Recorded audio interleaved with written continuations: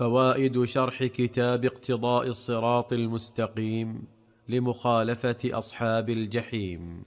لابن تيمية قال رحمه الله فلهذا والله أعلم ذكر صلى الله عليه وسلم الإلحاد في الحرم وابتغاء سنة جاهلية. أي نعم أن هذا من أشد المحرمات في هاتين الخصلتين وكونه صلى الله عليه وسلم قرن ابتغاء السنة الجاهلية بالإلحاد في الحرم هذا دليل على شناعة إحياء أمور الجاهلية, الجاهلية وأنها قرينة الإلحاد في الحرم, في الحرم مع ما, للح ما في الإلحاد في الحرم من الغلظة وشدة الإثم.